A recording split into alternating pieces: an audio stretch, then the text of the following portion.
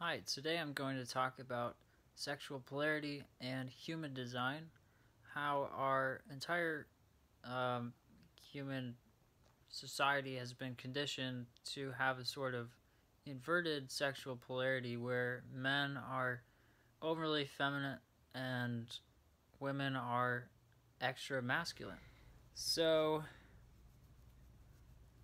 uh, my projector journey recently, I've been thinking about love and relationships, and I've not had many close sexual relationships. I've not had many girlfriends. I've had maybe two or three real girlfriends, and they didn't last long.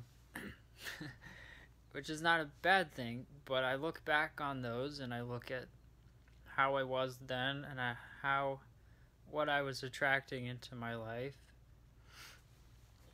And uh, it's maybe what I was feeling at the time. And one of the themes in my relationships is that I give my power to the feminine, usually. Um, and I attract women who are controlling, not necessarily controlling, but they're more, they were more likely to own, own up to their masculine qualities.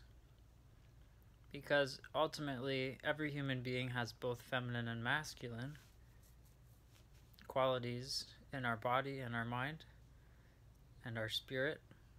But generally uh, men are leaning toward you know expressing a masculine as well as leaning toward the intellect or mental whereas women are usually from a biological and um, cosmic perspective, they lean towards the body, the unconscious, or the collective unconscious, or the mystery, you know?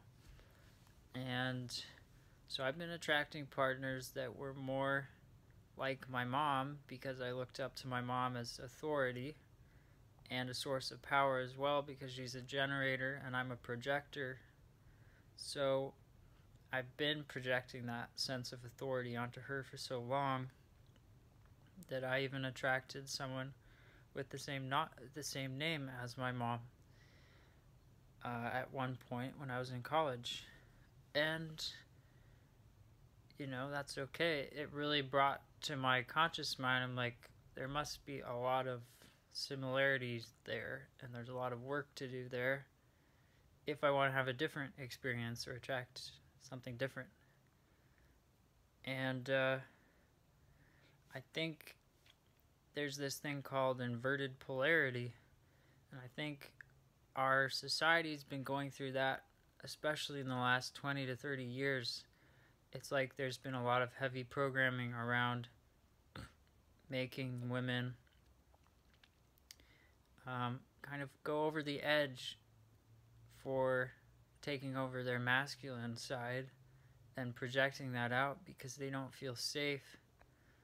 So, and then men are, uh, have been, in general, through the media, emasculated and kind of de um, dishonored for they're masculine.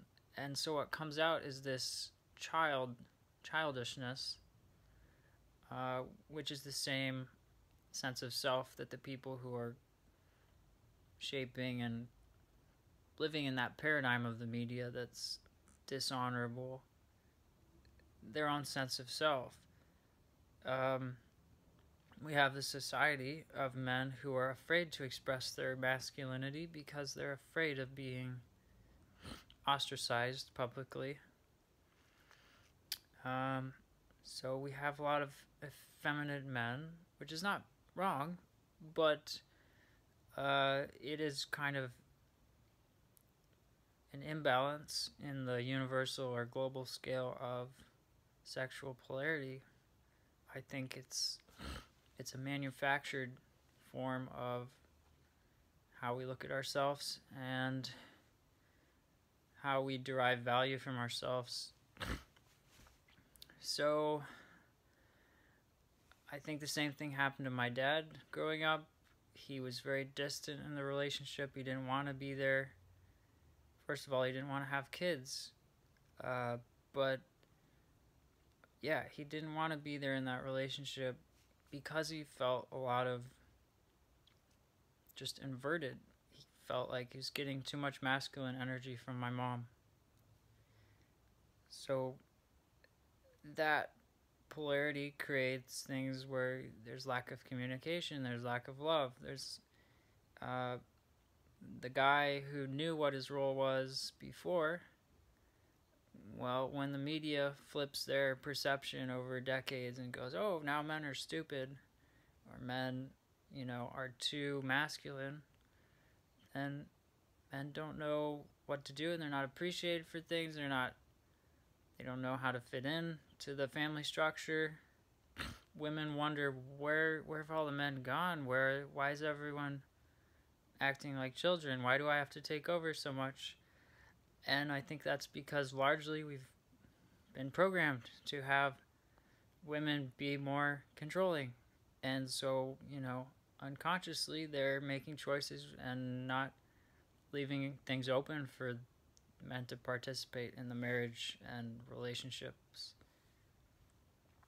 So the all of those things have come together and kind of informed my my perspective, of myself, my genetic memory, my body's memory, uh, my interpretation of society, myself, my self-image, and my G center in human design, which is your your love of yourself, your if it's open, you may have a desire to try and find someone to make you happy in a relationship.